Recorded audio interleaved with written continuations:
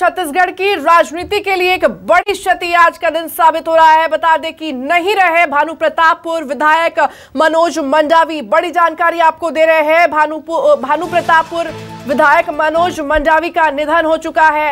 Heart attack से उनका निधन हुआ है। बड़ी जानकारी आपको दे रहे हैं धमतरी के बठेना अस्पताल में उन्होंने अपनी आखिरी साँसें ली है। नाथिया नवा गाँव पहुँचा पार्थिव शरीर। बड़ी जानकारी आपको दे रहे हैं। उनके गाँव पहुँच चुका है। उनका पार्थिव शरीर संसदीय सचिव शिशुपाल सोरी समेत आला अधिकारी वहाँ पर मौजूद है। बताया जा रहा है, आज शाम चार बजे अंतिम संस्कार किया जाएगा। अंतिम संस्कार में शामिल होंगे सीएम भूपेश बघेल। अंतिम संस्कार में विधानसभा अध्यक्ष चरणदास महंत जी भी शामिल होंगे तो वहीं कवासी लखमा भी इसमें शामिल होंगे। बड़ी जानकारी या बड़ी अपडेट इस वक्त की आपके बीच आपको दे रहे हैं।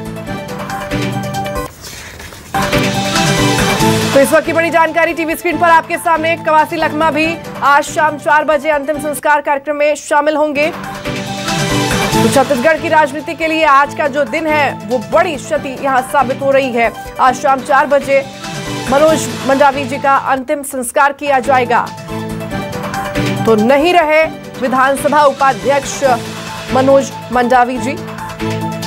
बता दें कि शाम चार बजे अंतिम संस्कार किया जाएगा, जिसमें कवासी लखमा भी शामिल होंगे, मंत्री कवासी लखमा भी शामिल होंगे। तो वहीं विधानसभा अध्यक्ष चरणदास महंत जी भी यहाँ पर शामिल होंगे और प्रदेश के मुख्यमंत्री भूपेश बघेल भी। तो मनोज मंडावी के निधन पर कांग्रेस और बीजेपी के नेताओं ने दुख जताया है। आप खुद सुनिए, क्या कुछ कहना है। बाटो रिश्ता का संबंध रहने से हम लोग मज़ाक में भी करते थे और नेतागिरी भी करते थे। इसलिए सामाजिक तरफ़ से भी और राजनीतिक तरफ़ से भी बस्तर के बहुत आपूर्ति और नुकसान हमको मिलेगा। इसलिए कितना भी मैं बोलूँ, वो कम है। अश्वपूरित विरम श्रद्धांजलि अर्पित करते हैं। वे आदिवासी समाज की मज़बूत आवाज़ थे। असीम संभावनाओं वाला उनका व्यक्तित्व था। कांग्रेस पार्टी अपने इस होनहार नेता के निधन से स्तब्ध है, आहत है। पूरी कांग्रेस पार्टी उनके शोक संतप्त परिजनों के साथ खड़ी हुई है। हम सब उन्हें अपनी विनम्र श्रद्धांजलि अर्पित करते हैं। एक युवा नेता के रूप में उभर करके सामने आए थे और एक कदावर नेता के रूप में यहाँ से विदा हुए हैं। न केवल परिवार के लिए और कांग्रेस पार्टी के लिए, बल्कि मैं समझता हूँ छत्तीसगढ़ के लिए अपूर्णी क्षति है। तो विधानसभा उपाध्यक्ष मनोज मंडावी का निधन हो चुका है। बता दें कि निधन पर सीएम भूपेश बघेल ने भी दुख जताया है। सीएम ने अपने शोक संदेश में ये कहा है कि मंडावी वरिष्ठ आदिवासी नेता थे। मनोज मंडावी आदिवासी समाज के बड़े नेता थे। वे आदिवासियों की समस्याओं को विधानसभा में प्रभावशाली ढंग से रखते थे। मंडावी आदिवासी समाज को उन्नति के लिए सदैव प्रयासरत रहे हैं। तो मुख्यमंत्री भूपेश बघेल ने ट्वीट करके अपना शोक जताया है। मंडावी वर्ष आदिवासी नेता के आस्मिक निधन पर दुख है। मनोज मंडावी आदिवासी समाज के बड़े नेता थे। वे आदिवासियों की समस्याओं को विधानसभा में प्रभावशाली ढंग से रखते थे। मंडावी आदिवासी समाज को उन्नति के लिए सदैव प्रयासरत रहते थे। तो मुख्यमंत्री भूपेश बघेल ने क्या कुछ ट्वीट किया है ये आपको टीवी स्क्रीन पर दिखा रहे हैं?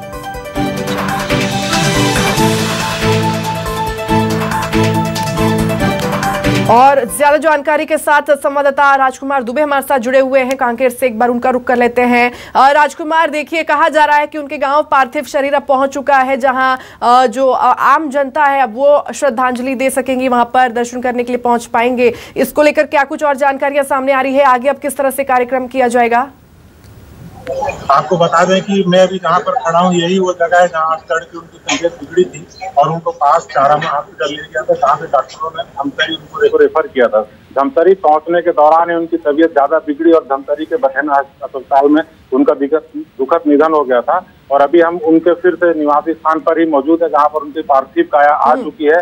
और ये मेरे बाजू में जो एंबुलेंस है उसमें आप देख देख पाएँगे कि अभी तक उनका शव जो है रखा हुआ है उसको उससे उतारा नहीं गया है। और प्रशासनिक अमला उनके अंतिम संस्कार को लेकर तैयारियाँ जोरों पर कर रहा है। यहाँ पर उनके परिजनों के साथ जिला प्रशासन की collector doctor Priyanka Shukla police अधीक्षक सलभ सिन्हा और डीआईजी बालाजी राव सहित तमाम आला अधिकारी यहाँ पर पहुँच चुके हैं और अंतिम संस्कार की तैयारियों में जुटे हैं। अभी तक जो जानकारी मिली है उसके अनुसार से आज शाम चार बजे उनका अंतिम संस्कार यहीं पास में ही किया जाएगा जिसमें तैयारियाँ प्रारंभ कर दी गई हैं। और अंतिम संस्कार में प्रदेश के मुख्यमंत्री भूपेश बघेल जी विधानसभा के अध्यक्ष रामदास महन जी और मंत्री कवासी लखमा के प्रमुख रूप से आने की जानकारी है। उसके अलावा स्थानीय संसदीय सचिव शिशुपाल सोरी जी यहाँ पर सुबह से ही मौजूद है और उनकी देखरेख में यहाँ तैयारियाँ चल रही हैं।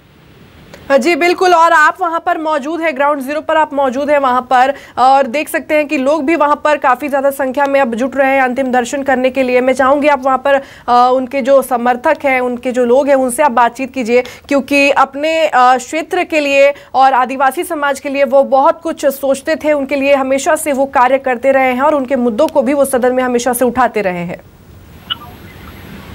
जी अभी मेरे आसपास तो उनके कोई समर्थक दिखाई नहीं दे रहे हैं जिनको मैं तत्काल बुलाकर आपसे बात करा सकूँ पर मैं प्रयास करता हूँ कि उनके कोई समर्थक क्योंकि यहाँ भाजपा के लोग भी आए हुए हैं और अलग अलग पार्टियों के सभी पार्टियों के लोग यहाँ पर मौजूद हैं पर तत्काल बात कराना थोड़ा मुमकिन नहीं हो पा रहा है क्योंकि यहाँ सबके हालात बिगड़े हुए हैं मानसिक तौर पर सब तैयार नहीं है। कुछ समय बाद बात करा पाऊँगा। जी बिल्कुल। और कहा जा रहा है कि आज शाम चार बजे उनका अंतिम संस्कार किया जाएगा जिसमें प्रदेश के मुख्यमंत्री भूपेश बघेल भी वहाँ पर शामिल होंगे। कौन कौन से बड़े वीआईपी पर्सनालिटी हैं वो वहाँ पर शामिल हो सकते हैं? और अभी तक जो जानकारी मिली है उसके अनुसार प्रदेश के मुख्यमंत्री भूपेश बघेल और विधानसभा अध्यक्ष चरणदास महंत के साथ साथ वरिष्ठ आदिवासी मंत्री कवासी लखमा के आने की पुख्ता जानकारी यहाँ पर मिली है। उसके अलावा जो अड़ोसी आसपास के जो विधायक महोदय थे उनका आने का सिलसिला लगातार जारी है। और अभी मैं देख पा रहा हूँ कि कांकेर लोकसभा के सांसद मोहन मंडावी जी यहाँ पर पहुँच रहे हैं। एक मिनट के बाद मैं उनसे आपकी सीधी बात करा पाऊँगा।